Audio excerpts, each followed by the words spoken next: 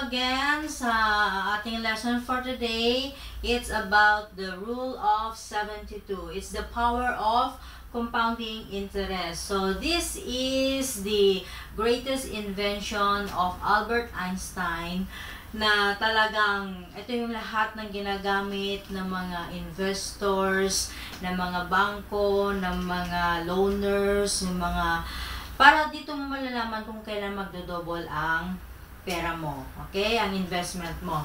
So, ibig sabihin yan, the rule 72 means you only divide the number 72 to any investment uh, interest na uh, papasukin mo at doon mo malalaman kung kailangan magdo kailan magdo-double ang uh, pera mo. Okay, like for example, uh, you put your money in an investment which give you 4%, right? Uh, example, nagsimula ka at age of 29, inilagay mo yung pera mo sa 4%. So, ibig sabihin yan, 72 divided by 4 equals 18. So, every 18 years, doon lang magdo-double yung pera mo dito. So, yung 100,000 mo, inilagay mo noong age 29 ka. So, at the age of 7, 47, magdo-double yon magiging 200,000 pesos. And, uh, after 18 years again, age 65 ka na, magiging 400,000 pesos.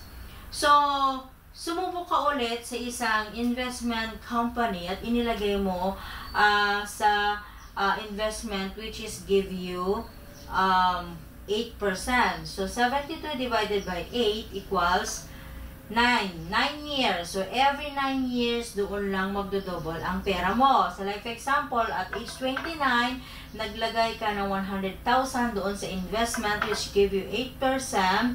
So, at the age of 38, magiging 200,000 na siya. Nagdoble na siya. Nagdoble ulit siya at age 47, naging 400,000. And at the age of 65, naging 1.6 uh, million na. So, hindi ka pa rin kontento. Sumubok ka sa isa because you are already well, inform well informed.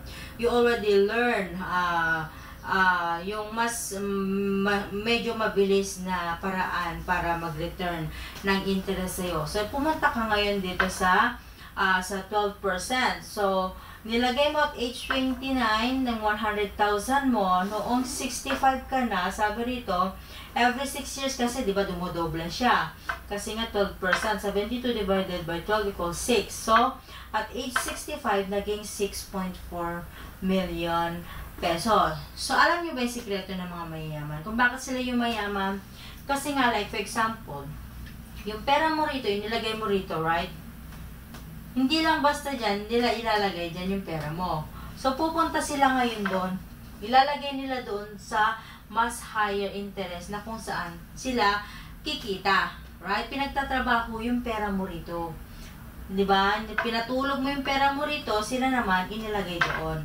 Pinagtrabaho na lang pinagtrabaho. Magkano ang ibinalik sa'yo? Yung butal lang. 400,000 pesos lang yung butal ang binalik sa'yo, di ba? Magkano kinita nila? 6 million.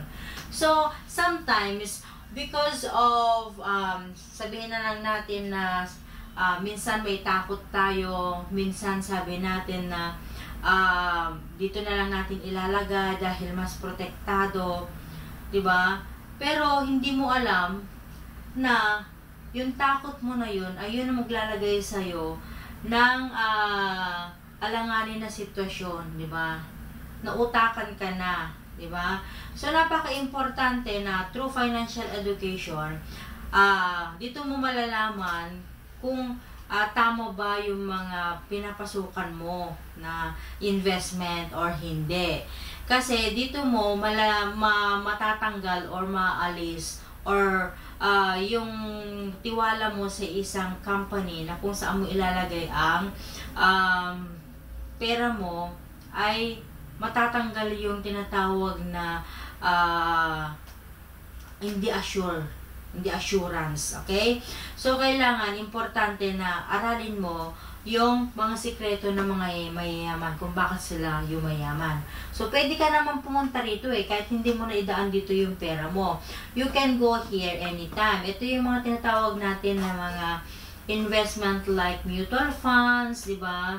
Uh, yung pera mo rito is i-dinidistribute o o ini-scatter sa mga top holding companies in the Philippines. Example, mga Jollibee, mga yan, mga SM. So, those are the uh, where your money uh, is scattered.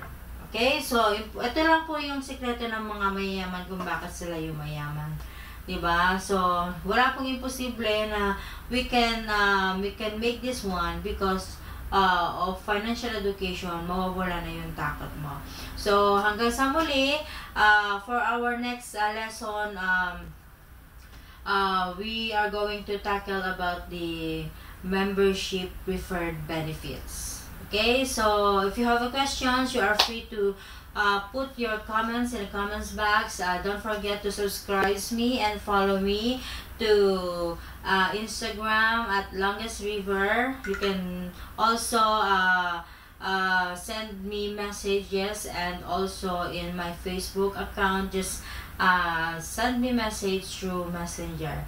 So, see you next time. Bye-bye.